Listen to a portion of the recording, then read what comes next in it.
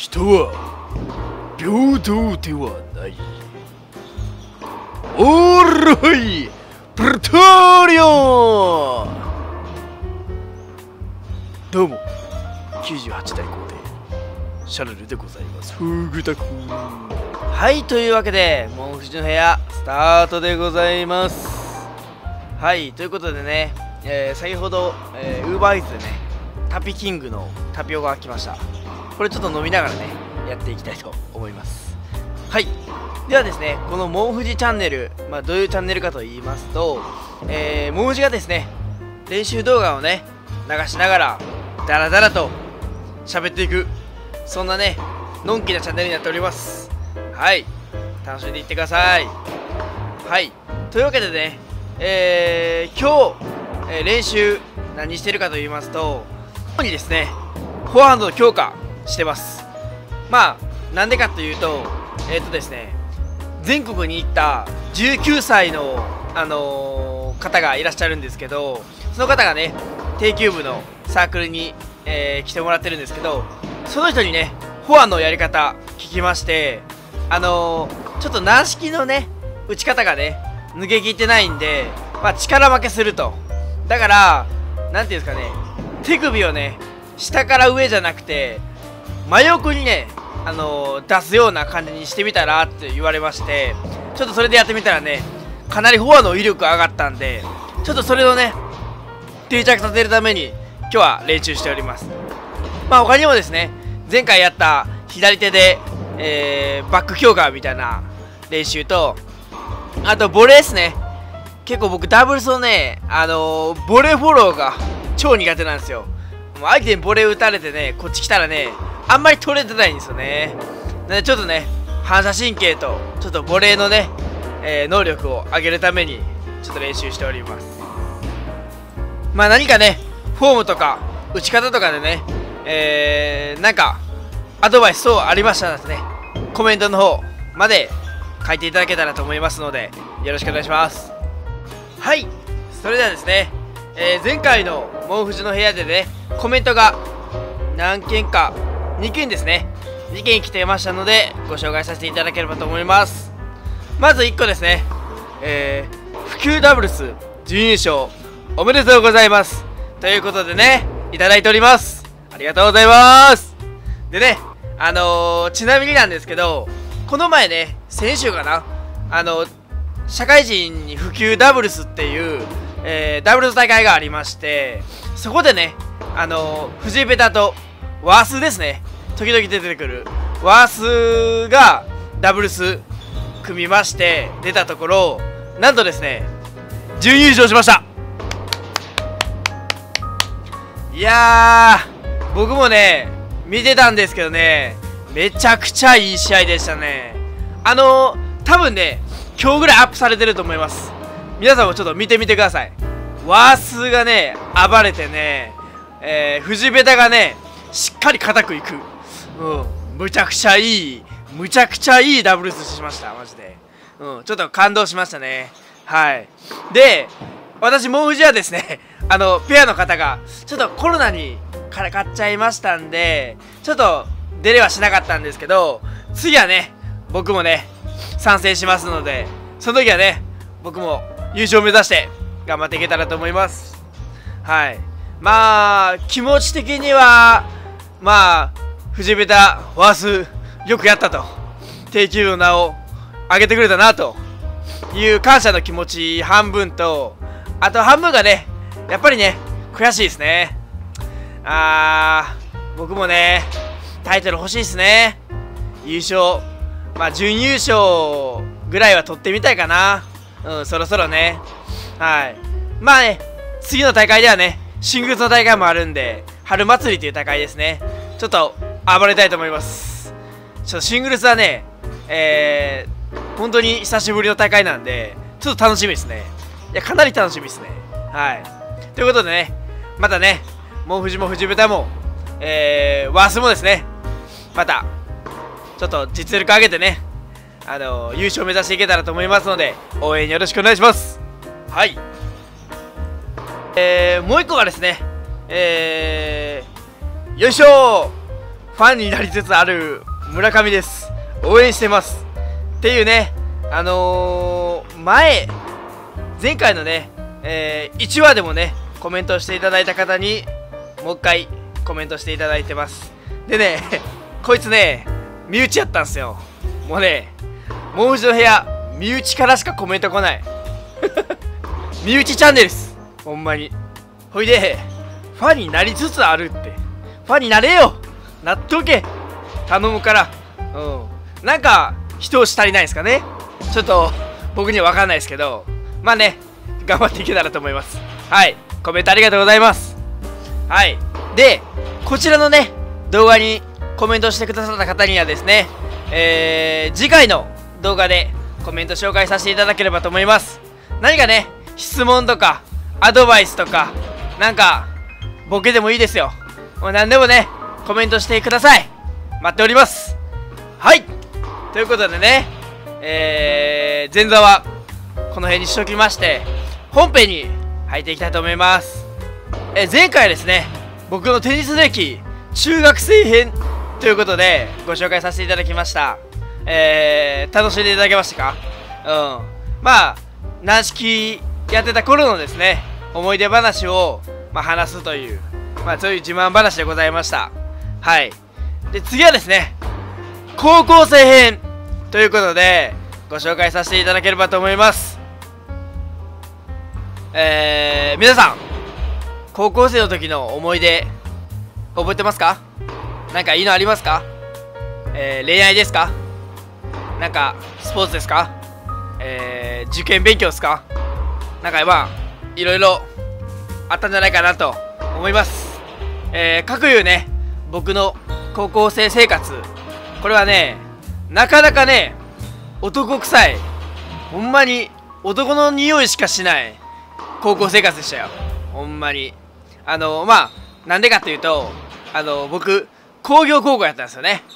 あのクラスにね女の子一人もいないというね男だらけの高校生活を過ごしました。とんでもないですよマジで。ね。高校生って言ったらねなんかこう恋愛とかなんかありそうじゃないですか。せめてねクラスに女子1人はおるでしょいないんですね。はい。そんな高校生生活でね。まあね多分あの一般の、えー、高校生と違う生活っていうのはねなんかこう授業にね現れてましたね。皆さんね旋盤とかしてます？授業中にね旋盤とかしたりあのー、なんて言うだろう。鍛造って分かりますかね。あの刀をこうカチンカチンみたいなやつ。あれでなんかスプーン作った思い出がありますね。であと鋳造って言ってなんかアルミを地面の中あの、流し込んでなんかこう表札みたいなの作るみたいな。なんかねそういうね授業してました。あれ結構楽しかったですね。なかなか経験できんことだとは思いますね。まあ僕みたいなね勉強できない人間はねそういうねなんかこう作業するのはね楽しかったなというのは覚えてます。あとあのー、授業でママチャリいらんかったらママチャリ2つですね用意してタンデム自転車。あの2人乗り用の自転車作ったこともありました。あれは結構ね面白かったです。いい思いですね今となっては。はい。はい。でえっ、ー、とテニス歴に入っていきたいと思うんですけどえっ、とテニスはね公式テニスは、まあ、高校からやっと始めれるというところで、まあ、中学ね公式の部活がなかったんでまあ仕方なく軟式に入ってたんですけど高校からねやっと自分の好きな公式テニスに集中できるということでワクワクしたのをね覚えてます。はい。でねあのねテニスコートがねすっごいひどいんですよ。ひどい環境です。あのねなんだろう。なんどうかねこう校舎がこう1頭2頭3頭みたいなこう縦にこう並んでてでその校舎と校舎の間にあのテニスコートがあの挟まれてるっていうねいうね本当劣悪なねテニスコートで練習してました。もうねあのー、地面もねガッタガタで硬いけんもうすっげえイレギュラーするんですよ。で、まあ、クレーコートなんで、あのー、ラインですよね、あのー、線引いてるとこ。あれがなんかこう物理的なやつであそこに当たったらねボールがパーン跳ねるんですよ。なんやねんこれみたいな。ね全くラリーがねできないようなコートで練習してました。まあちょっとね悲しい練習環境でしたよ。まあしょうがないですけどね。工業なんで。はい。でえっ、ー、と高校のねテニスはねあのー、1年生の、えー、中盤ぐらいから3年生が引退してからねあのー、ずっとレギュラーでやってましたね。まあ正直ねあの周り初心者もうテニスすら初めてですみたいな方が多かったんでまあえっ、と自分はね一応軟式してたんでまあその名残でちょっとテニスができたっていうところですね。まあまあ軟式のね癖がちょっと抜けにきれんかったというのがねちょっとあ残念なところではありましたけどまあちょっとアドバンテージがあったんでまあえっ、ー、と結構ずっとねシーズン通して楽しめたかなという感じですね。でね高校はねちょっと情けない話ねあのー、中学ほどねテニスね頑張ろうっていう気分にはなってなかったですね。はい。えー、もう高校生になってね遊びをね覚えちゃいました。はい。あのー、まあしょうもないんですけど友達とねゲームしたりとかなんかこうテストね期間中はテスト勉強してみたりとかなんかこうなんだろうな、えー、カラオケとかなんかねそういう遊びをね充電的にやってました。なんでねちょっとね実力的にはちょっとあんまりつかなかったかなという。今となっちゃねやっぱ後悔してます。まああの時にねレッスンじゃないですけどまあちょっとよそのクラブみたいなの入ってしっかり練習しとったらね。割と毎日できたんであの頃は、うん、結構強くなれたんかなと思うんですけどまあ中学のね抑圧された環境。もう土日は練習試合みたいな。もうそういう環境で育ってますから自由っていうのがねもうね休みの日フリーっていうのがね嬉しいんですよ。まあねしょうがないです。ほいでねあのー、練習中もねめっちゃ遊んでました。もう何しよったんやろっていうぐらい遊んでましたね。あのー、僕のね友達にねあのー、ベーマナっていうね人間がおるんですけどあの、よく覚えてるのがねあのなんかキャリーカートあるじゃないですか。なんかこう荷物運んだりする。あのそれをねあのそれにベーマナを乗せてねあの、まあ、ジェットコースターって言ってね遊んでましたね。なんかこれが果たして高校生のね遊びなんかちょっとよくわからないんですけどそれでね結構スピード出して遊んでたらあの、ベーマナがねちょっとビビってしまってうわーって飛び降りたんですよね。ほんならあのー、ストックハウスみたいなところに手ついてしまってあのー、小指折っちゃったこともありましたね。あのー、相当ね危険な遊びもしてました。うん。こういうねやっぱ高校生ってね怖いですよ。今なんかもうそんなん絶対しませんからね。もう友達の小指折るなんてね。ちょっとびっくりですね。はい。っていう感じでえー、っとまあ遊んでました。日々ね。でえー、一応ね高校時代のテニスの、えー、経歴としましては全然ね勝てなかったっす。マジで。すいません。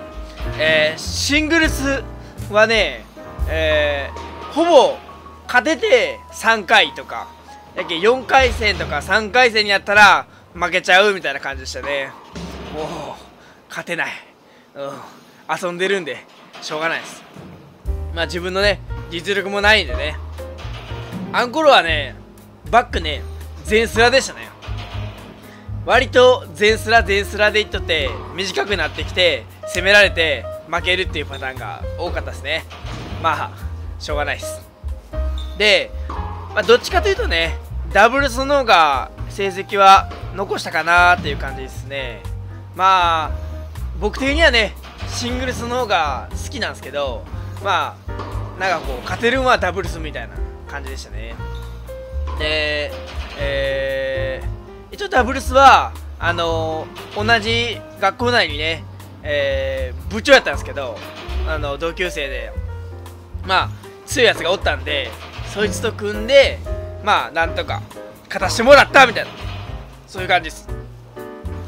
で 一回ねベスト4まで行ったえっ、ー、と大会がありましてまあその大会なんですけどえっ、ー、とベスト8までのえあ違うごめんなさい。ベスト8か。ベスト8までの入る強い人らが欠場した大会でベスト4になりましたね。そういえば。はい。まあ、えー、ペアのおかげなんですけどこれも。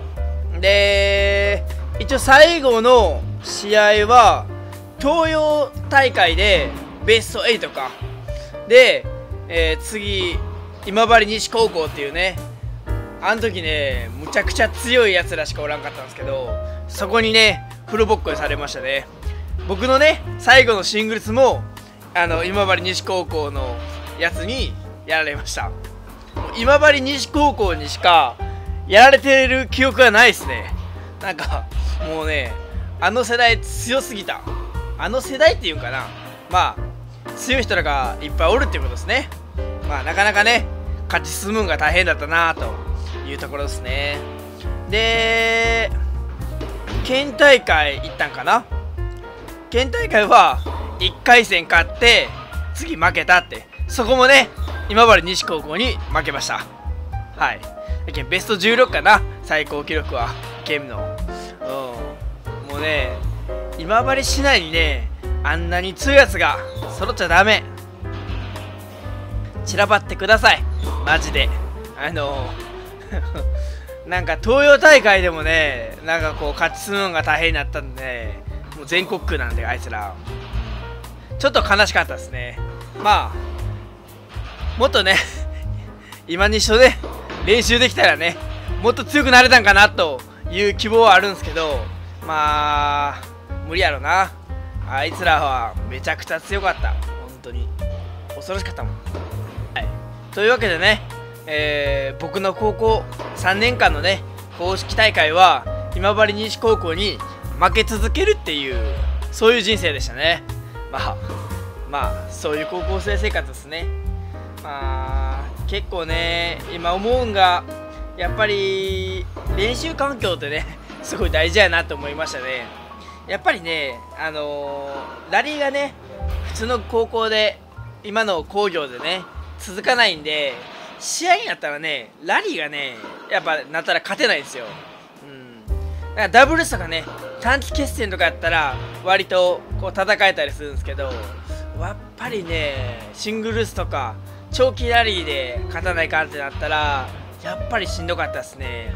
やっぱりこうサーブでイレギュラーで終わっちゃうみたいなことが多かったんで割とこうラリーで崩すみたいなとこまでいかなかったんでね。うん。やっぱりね強くなるにはいい練習環境いい相手とねいうところでやっぱり恵まれないとなかなか難しいところがあるかなと思いました。はい。でねまあ公式の大会はねあのー、普通大会ですね。うん。そういうところなんですけどまあ僕のね高校生でね一番悔いがあったのはあのー、まあ同級生で僕のペアであったあのー、やつが今あの今治のね強化選手なんですけどそいつにねシングルスでね1回もね勝ててないっていうのがねすごい心残りです。割と。もうねなんだろう。マッチポイントとかにね行ったりするんですよ。でもね勝ちきれんかった。本当に。相手がいやこっちか。こっちがマッチポイント。握っとる段階ですげえファーストミスてセカンドあこれめっちゃチャンスやんって思って攻めに行こうと思うじゃないですか。思いっきり振ってきましたからね。それが入りますからね。うん。多分ね僕だけにはね負けたくないと多分そう思ってたんじゃないですかね。なんか遊んでるし、うん、まあそれがねちょっと心残りですね。まあただねそいつはね今もうテニスしてますんでちょっとね公式の大会でねコテンパンにねしてやろうと思います。あちなみにねあのー、フジペタがね前いつやったかな？えー、去年か。去年のシングルスの大会で1回戦で当たってましたね。結果はね結構競ったかな？84とか85とかで負けたんかな？まあしゃあないけど次はね僕がね藤豚が当たったらね倒そうと思います。僕らもね一応練習してこう力ねつけてきとんかな？ちょっと分からんけどまあ着実にねよくはなってきてると思うんでしっかりね大会で当たったら倒してやろうとそう思ってます。はい。なんでねまあ公式のね大会で当たった時はどうぞ。よろしくお願いします。ぶち倒して差し上げます。はい。というわけでまあ高校時代はねなんかこう熱くね語れるほどのこうエピソードがあんまりなかったんでねちょっとね寂しいとこではあるんですけどまあ高校時代はねテニスよりちょっと遊び優先してしまったかな。そういう感じですね。はい。でえー、次回はね何喋ろうかなって感じですね。なんかね リクエストがあったら コメントでもしてください。もしねリクエストがなかったらなんか僕の好きな話でもしようかなと思ってます。僕ね結構アニメとかゲームとかかなり好きなんですよ。なんでねまあちょっと僕が好きなアニメの話でもするか。まあもしくはまああんまりねテニスのね話はしないかな。うん。あんまり僕ねプロのね試合とかあんまり見んのですよね。長いじゃないですか。めちゃくちゃ。あのえっ、ー、と前後かな。あのナダルとえー、メドベージェフか。やった試合があったと思うんですけどあれもね YouTube で見ようと思ったらね5時間あったんでねあの最初のね1時間ぐらいでね挫折してしまいました。はい。でもねあのハイライトを見る限りえぐいっすね。ナダル。いや両方やばいんですけどナダルねおかしい。あの人。マジで。なんか藤ベタもすげえフットワークいいんですけどそれの2倍あるなって感じっすね。マジで。化けモンっすわ。はい。というわけでねこの辺で終わらせていただければと思います。それではグッド高評価チャンネル登録よろしくお願いします。それではバイ。